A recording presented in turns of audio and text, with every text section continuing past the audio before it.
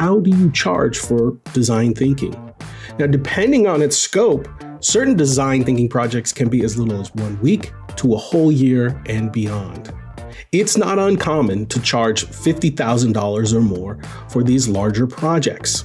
I typically charge $150,000 for 8 to 10 week projects that include research, workshop, and a design strategy. Now, once you understand the flow of the design thinking process, you'll start to see where the deliverables surface from this process, and it can help you elevate your design pricing package. Let me give you an example of a short two week project where I charged $50,000. First, I charge for the workshop prep.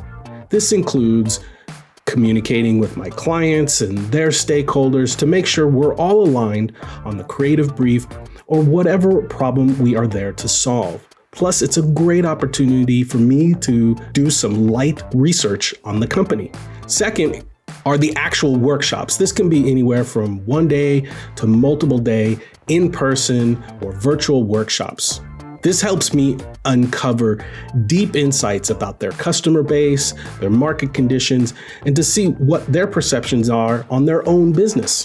Third is all the post workshop analysis and reporting. I spend at least four to five days uncovering and unpacking all of the things that I've learned and putting them together as a findings report that I can use to determine if there's additional research needed or if we can move on.